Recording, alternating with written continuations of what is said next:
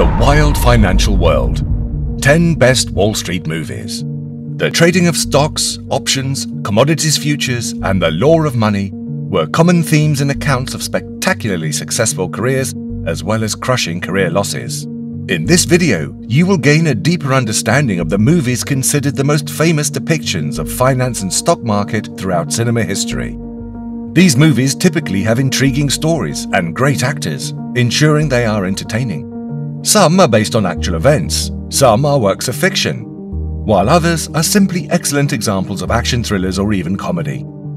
By the way, this is Skillset, and this is the channel where we discuss finance, business, marketing, money, and of course, all things crypto, NFT, metaverse, and blockchain related. We are just another group crazy about those things and your entertainment. Don't forget to like the video if you find it helpful. Click the subscribe button to stay updated on the happenings of the financial market. So back to it. Here's our list of the top 10 movies about finance and the stock market worth watching. Number 10, Rogue Trader. Rogue Trader is the autobiography of Nick Leeson, starring Ewan McGregor as Nick Leeson, but directed by James Dearden. Nick Leeson, a young man with big dreams and wide eyes, is intent on climbing the professional ladder and becoming more than just a bank teller.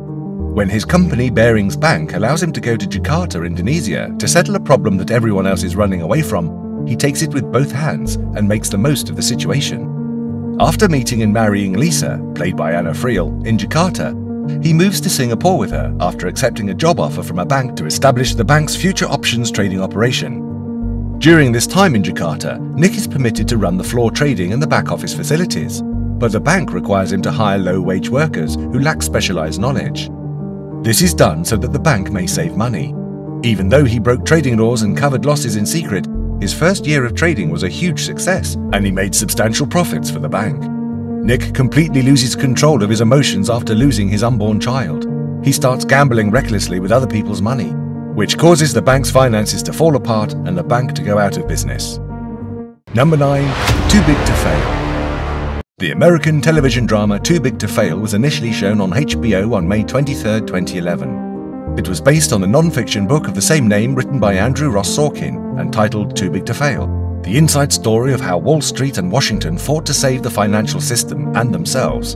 2009 Curtis Hanson directed this movie and starred some famous actors such as James Wood, John Heard, William Hurt, Erin Dilly, etc. Too Big to Fail provides a glimpse of the conversations between significant participants during the 2008 financial crisis, which took place from March until about the middle of October. In 2008, when Lehman Brothers were on the verge of going bankrupt, the company's CEO, Richard S. Fowles Jr., refused to acknowledge the shortcomings of his bank and instead blamed the falling share price on short sellers. He asked Warren Buffett for money and tried to merge with the Bank of America, BOA, and Barclays. As a result of the refusal of the then Treasury Secretary, Henry Hank Paulson, to authorize the use of public funds to rescue Lehman, the company filed for bankruptcy in September 2008. Number 8. Enron, the smartest guys in the room. Directed by Alex Gibney, The Smartest Guys in the Room is a documentary on the fall of the Enron Corporation. It portrays the company's flawed and unethical business strategies and how those practices contributed to its demise. This story, narrated in chronological order, shows how Enron went from being the seventh largest business in the United States to filing for bankruptcy in less than a year. The focus is on human drama, ranging from attempted suicide to the termination of 20,000 employees. The characters of Ken Lay, Jeff Skilling, Lou Pai, and Andy Fastow take center stage. Along the process, we observe how Enron manipulates California's deregulated power market, gets a free pass from Arthur Andersen, which approves the questionable mark to market accounting, and uses greed to take advantage of financial institutions such as banks and brokerages. Number 7. Wall Street Money Never Sleeps. Wall Street Money Never Sleeps is an American drama and thriller film released in 2010 and directed by Oliver Stone. This is Stone's first attempt at directing a sequel, and it's a continuation of the Academy Award winning film Wall Street from 1987. Michael Douglas appeared in the movie once again in his role as Gordon Gekko. Some other famous actors include Shia LaBeouf, Eli Wallach, Susan Sarandon, Josh Brolin, Carey Mulligan, Vanessa Ferlito, and Frank Langella starred in the film as supporting characters. The story's primary focus is on Gordon Gekko, who plays the role of an anti-hero rather than a villain throughout the course of the movie. The plot follows Gekko's efforts to assist Wall Street before the impending crash of the stock market, as well as his efforts to mend the relationship between him and his daughter Winnie. He was doing this with the assistance of Jacob, who is engaged to Winnie.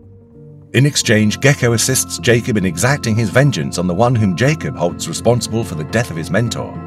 The movie story and script for it were written by Brian Boru, Allan Loeb, and Stephen Schiff, Stone Douglas and Edward R. Pressman were the producers of the movie, while Eric Kopeloff was the co-producer, and Alessandro Camon and Celia D. Costas were the executive producers. Number 6. Margin Call This movie's all-star cast, written and directed by J.C. Chandor, Margin Call makes it possible for the film to live up to its reputation as the most insightful Wall Street movie ever made. Margin Call is a suspense film that takes place in the high-pressure environment of the financial industry, it follows the major characters at an investment firm through one dangerous day in the beginning stages of the financial crisis that began in 2008. After the entry-level analyst Peter Sullivan, played by Zachary Quinto, discovers information that might lead to the collapse of the company, the plot takes a turn for the dramatic. As a series of decisions, both financial and moral, bring the lives of everyone involved to the verge of catastrophe. Margin Call is a captivating investigation of the human components of a theme that is much too frequently limited to political problems. Number 5. Trading Places When it was first released, Trading Places was regarded as a massive success, as it made more than $90.4 million at the box office, making it the fourth highest grossing film of 1983 in North America. Trading Places is a comedy film, released in the United States in 1983, and directed by John Landis. Timothy Harris and Herschel Weingrod wrote the screenplay for the film.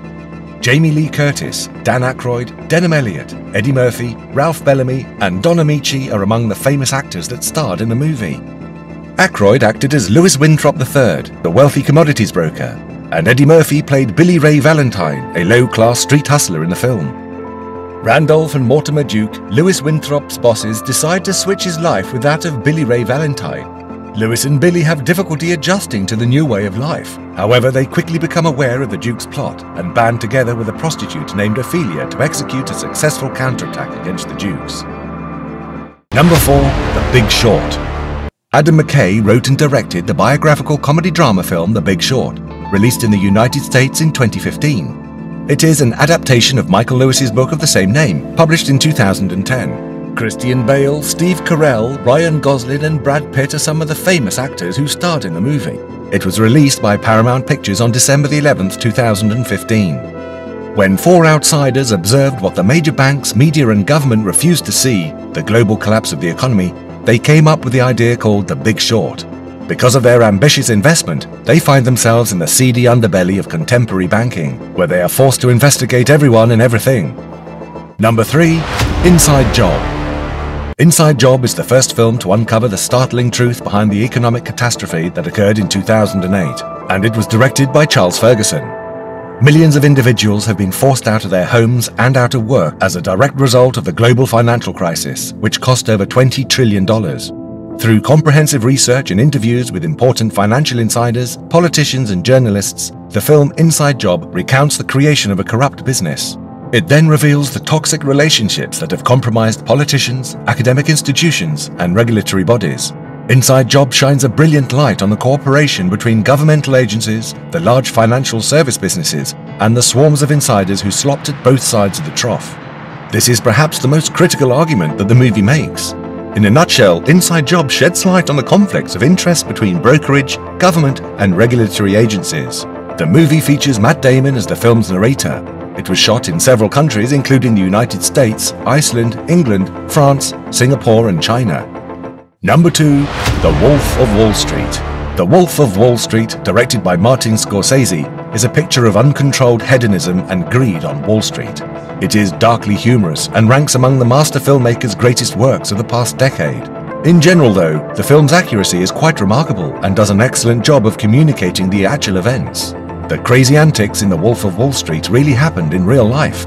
The true events that inspired the film The Wolf of Wall Street were detailed in Jordan Belfort's biography of the same name which was published in 2007. The book describes Belfort's days as a white-collar criminal and financial fraudster.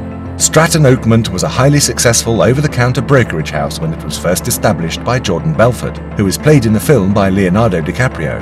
However, the company was eventually closed down in the 1990s. The Wolf of Wall Street not only discusses the financial con games that his company participated in, but it also details some of Jordan Belfort's most outrageous exploits. These exploits include money laundering, drug usage, crashing a helicopter, sinking a yacht, and many more. And if you believe Time magazine, all those crazy scenes and more really happened. Number 1. The Wall Street. Wall Street is an American drama that was released in 1987 it was written by Stanley Weiser and Oliver Stone and was directed by Oliver Stone. In the film, Michael Douglas acted as Gordon Gekko, a wealthy and ruthless corporate raider. This is possibly the most famous role that Michael Douglas has ever played. And Charlie Sheen stars in the role of Bud Fox, a young stockbroker who is determined to be successful. Wall Street is defined by a series of moral tensions that pit riches and power against simplicity and honesty. These conflicts give rise to the city's unique culture. The movie makes the case that the vast majority of small investors are fools and that men like Gekko are the ones who make the real money in the market. These are the people who swoop in and buy whole companies from right under the stockholders' noses. If you are a prospective financial guru, these movies are a must-see. Even if you aren't a money pro, these films can open you up to the insane and wild financial world. We have come to the end of this video. Have you seen any of these movies? Are there movies you think we've missed? Let us know your thoughts in the comment section below.